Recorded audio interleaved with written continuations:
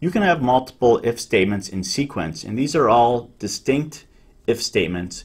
It looks similar to a multi-branch if-else statement, but each of the if statements are completely standalone and distinct from each other.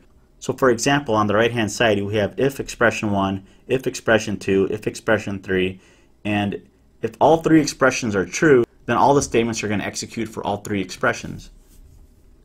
And there's because there's no else, then none of them are connected in any way. Let's try this out.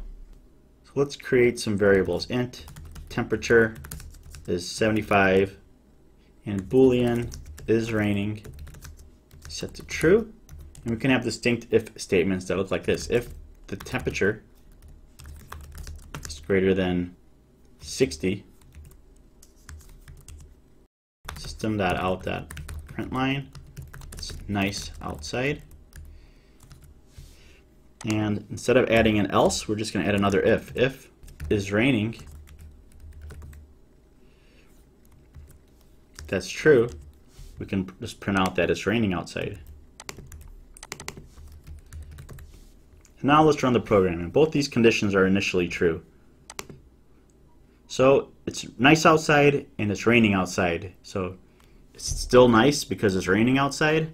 So because there's no else connecting these statements, then it's doing both and they're completely distinct from each other. It's raining and it's nice outside.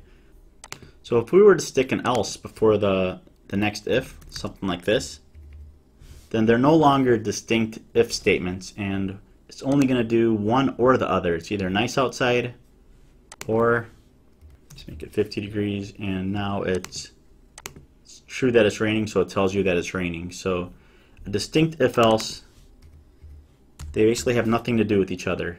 So this is a totally separate statement. This is a totally separate if statement as well.